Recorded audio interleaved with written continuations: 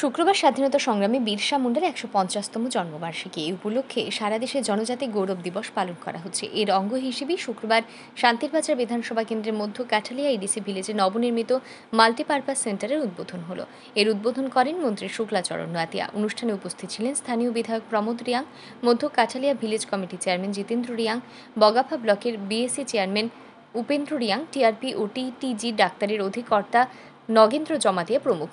এদিন প্রদীপ জ্বালিয়ে ফিতা কেটে মাল্টিপারপাস সেন্টারের উদ্বোধন করেন মন্ত্রী শুক্লাচরণ নোয়াতিয়া। অনুষ্ঠানে বক্তব্য রাখতে গিয়ে মন্ত্রী পূর্বতন সিপিএম সরকারের বিভিন্ন কাজে তীব্র সমালোচনা করেন। তিনি জানান, বর্তমান সরকার জনজাতিদের প্রতি মানবিক, রিয়াংদের আরও বেশি মান উন্নয়নের লক্ষ্যে প্রত্যন্ত জনজাতি অধ্যুষিত এলাকায় আরও পঞ্চাশটি এই ধরনের মাল্টিপারপাস সেন্টার তৈরি করার লক্ষ্যমাত্রা হাতে নেওয়া হয়েছে। এর মধ্যে বাইশটি মাল্টিপারপাস সেন্টারের কাজ চলছে বলেও জানান তিনি। মন্ত্রী আরও বলেন, গ্রামীণ জনজাতি এলাকার সার্বিক উন্নয়নে উন্নয়নে গুরুত্ব সহকারে কাজ করছে বর্তমান রাজ্য সরকার।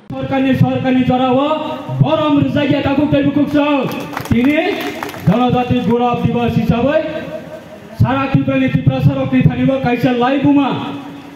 আগরতলানে আস্তবল ময়দান, মহারাজানে করাই খামানে করাই নখলা। তাবক যারা অ এলাকা তংনাই কমিউনিস্ট নেতা, জনজাতির বিসিং তংনাই রক বর্ণ প্রশ্ন খাইছি একশো চুরাশি জনানি রাজানি বংশানি, করাই খামানি করাই নখলা আগর তলেনি আস্ত বল ময়দান। স্বামী বিবেকানন্দনী বোমংতলাঙ্গি ঠেপাই লিখা অথচ সিপিএম নেত্রী প্রথা নেতারা কোনো কিছু সারা গিয়া তিনি সরকার ফাইয়ে আগর আগরতলানি বিমানবন্দর না মহারাজা বীর বিক্রম কিশোর মানিকলি বিমানবন্দর সুনামকা আবার সিনিয়া ছেলে ব্রত আকবুকু রঙে হজাগিরির দান।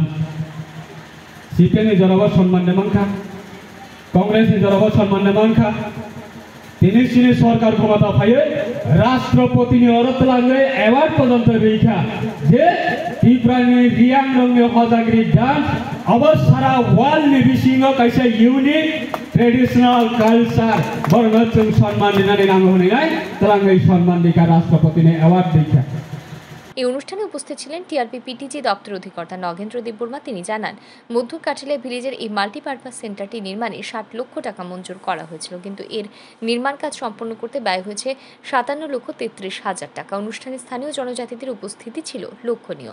Bureau report, R E news.